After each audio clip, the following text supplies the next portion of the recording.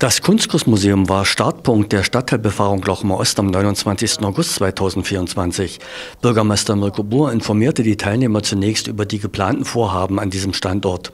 Im Rahmen des Strukturförderprojektes Transformation 1535 Grad wird das Kunstkursmuseum durch einen Rundbau mit Innenhof erweitert, der den vorhandenen Baumbestand integrieren soll. Näheres dazu erfährt man bei einer Infoveranstaltung rund um das Projekt, die im Oktober 2024 im Kulturhaus stattfinden soll. Eine weitere Station war das Gelände des Sportforums. Am Skateplatz steht der Bau des durch eine Bürgerinitiative geplanten und durch viele Spenden finanzierten Spielplatzes kurz bevor.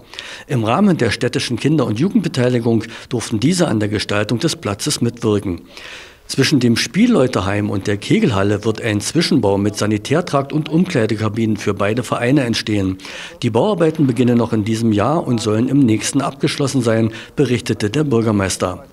Nach einem kurzen Halt an der Gebläsemaschine, die durch ehrenamtliches Engagement eine neue Einfriedung erhielt, ging es weiter zum MVZ Alte Poliklinik. Das Konzept dieses medizinischen Versorgungszentrums ist einzigartig und stößt auf großes Interesse bei Krankenkassen und kassenärztlichen Vereinigungen, auch über die Landesgrenzen hinaus. Die Besonderheit, so MVZ-Betreiber Dr. Tobias Krogel, ist die Kombination von internistischen und hausärztlichen Leistungen. Dazu kommen die Möglichkeiten einer erweiterten Akut- und Notfalldiagnostik, die so bislang nicht üblich war. Das dreiköpfige Ärzteteam wird in Kürze erweitert. Im Oktober eröffnet auch eine hauseigene Apotheke. Gegenwärtig entstehen am MVZ durch die Betreiber privat finanzierte Parkplätze.